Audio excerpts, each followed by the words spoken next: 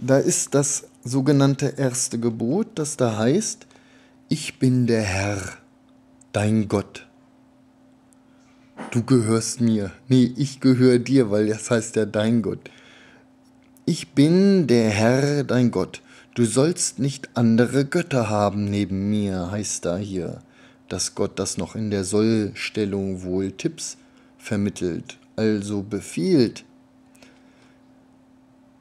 Johannesevangelium heißt Gott gleich Wort. So ist, so ist denn, was hier deutet es jedoch im, im, im, im Soll und Herrlichem verdeutet es, heißt im deutlich Deutschen, echt Deutsch, ich, ich das Wort. Gott, Gott ist das Wort. Gott ist das Wort. So jemand neben dem Wort andere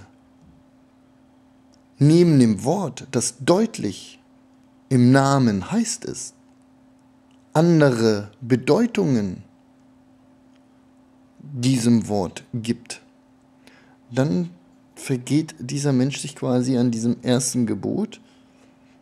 Ich bin das Wort.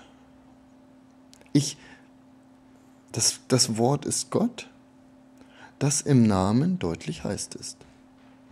So diesem deutlichen Namen andere, na, andere Bedeutungen angedichtet ist, ist Name vernahmt, ist heißen verheißen. Dann verbrennt Seele im Geistlichen. Tschüss.